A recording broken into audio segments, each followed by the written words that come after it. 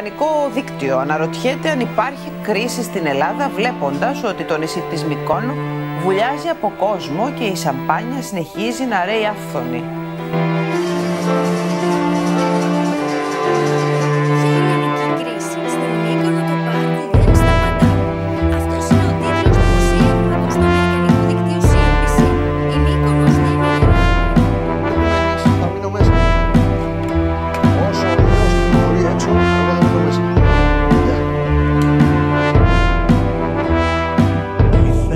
Απρίλη Ήθελες και Μάρτι.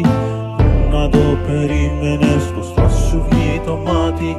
Πάνε και τα γένια που θέλανε και χτένια. Πάει και η λένια Bye bye bye bye Bye bye summer Goodbye bye summer. Bye bye summer Goodbye goodbye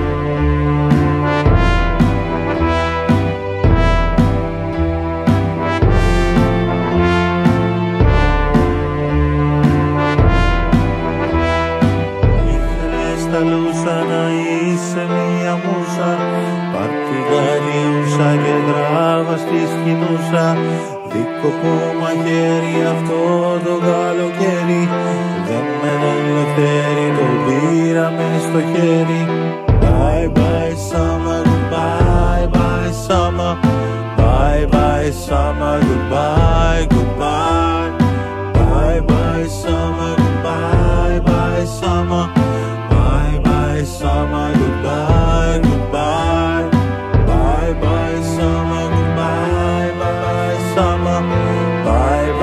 summer, goodbye, goodbye. Bye bye summer.